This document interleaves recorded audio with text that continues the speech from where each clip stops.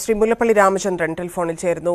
ശ്രീ മുല്ലപ്പള്ളി രാമചന്ദ്രൻ എങ്ങനെ ഓർക്കുന്നു അദ്ദേഹത്തെ അദ്ദേഹത്തിന്റെ പ്രവർത്തനങ്ങളെ അദ്ദേഹം കോൺഗ്രസിന് നൽകിയിരിക്കുന്ന കാര്യങ്ങളെ?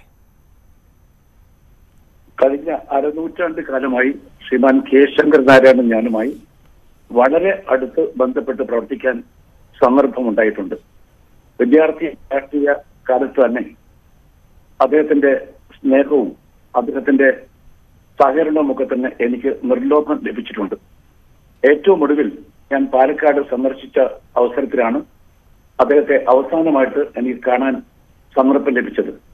രോഗാതുരനായി കിടക്കുമ്പോഴും അദ്ദേഹം ആവശ്യതയെല്ലാം മറന്നുകൊണ്ട് ഞാൻ വന്നപ്പോൾ അദ്ദേഹത്തിന്റെ സ്നേഹസൂചകമായി കൈ ഉയർത്തി പിടിച്ചത് ഞാൻ ഇപ്പോൾ ഓർക്കുന്നത് അതിന് തൊട്ടു മുമ്പ് കോഴിക്കോട് കെ പി കേശവമേനൻ ഹാളിൽ എനിക്ക് നൽകിയ ഒരു പുരസ്കാര ചടങ്ങിൽ സംബന്ധിക്കാൻ വേണ്ടി അദ്ദേഹം ഞാനും വന്നതും അവസാനമായിട്ട് വേദി പങ്കുവച്ചതും ഞാൻ ഈ സന്ദർഭത്തിൽ ഓർമ്മിച്ചെടുക്കുകയാണ്.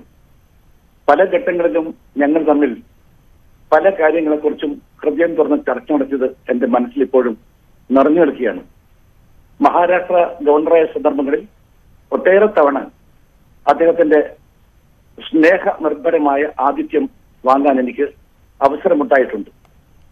അതുപോലെ തന്നെ കോൺഗ്രസിന്റെ ഓരോരോ പ്രതിസന്ധി ഘട്ടങ്ങളിലും അദ്ദേഹത്തിന്റെ ഭാഗത്തു നിന്ന് എനിക്ക് അതുപോലെ തന്നെ പാർട്ടിക്കും കിട്ടിയിട്ടുള്ള ഉപദേശ നിർദ്ദേശങ്ങളൊക്കെ തന്നെ എപ്പോഴും എന്റെ മനസ്സിൽ നിറഞ്ഞു നിൽക്കുന്നുണ്ട്.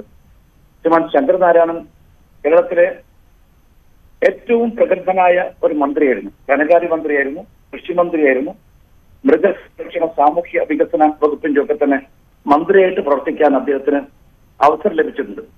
അന്നൊക്കെ തന്നെ തന്റെ സവിശേഷമായ വ്യക്തിത്വം ആ വകുപ്പുകളിലൊക്കെ തന്നെ അദ്ദേഹത്തിന് പതിപ്പിക്കാൻ സാധിച്ചുവെന്ന് ഞാൻ ഈ സന്ദർഭത്തിൽ ഓർക്കാൻ ആഗ്രഹിക്കുന്നു. ശ്രീ കെ കരുണാകരനോടൊപ്പം അദ്ദേഹം മന്ത്രിയായിട്ടുണ്ട്. ശ്രീമൻ എ കെ ആന്റണി അവരുടെ മന്ത്രിസഭയിൽ അദ്ദേഹം മന്ത്രിയായിട്ടുണ്ട്. ഏൽപ്പിച്ച ഉത്തരവാദിത്തങ്ങളെല്ലാം തന്നെ അദ്ദേഹം കർമ്മനിരനായി നിർവഹിക്കുന്ന കാര്യത്തിൽ മുൻപന്തിയിലുണ്ടായിരുന്ന കാര്യവും ഞാൻ ഈ സന്ദർഭത്തിൽ ഓർക്കുന്നു. ശ്രീമാൻ ശങ്കർനാരായണന്റെ ദേഹവിയോഗം ഇന്ത്യൻ നാഷണൽ കോൺഗ്രസ് പ്രസ്ഥാനത്തിന് ഒരു വലിയ നഷ്ടമാണ് വരുത്തിയിട്ടുള്ളതെന്ന കാര്യം ഞാൻ അനുസ്മരിക്കുന്നു. ദുഃഖത്തോടെ. വളരെ നന്ദി ശ്രീ മുല്ലപ്പള്ളി രാമചന്ദ്രൻ.